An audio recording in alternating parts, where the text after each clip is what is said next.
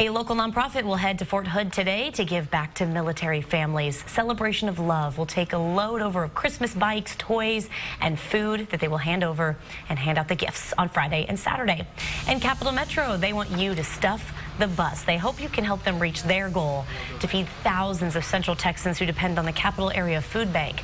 So today you can stop by any of the Whole Foods locations and donate non-perishable food items.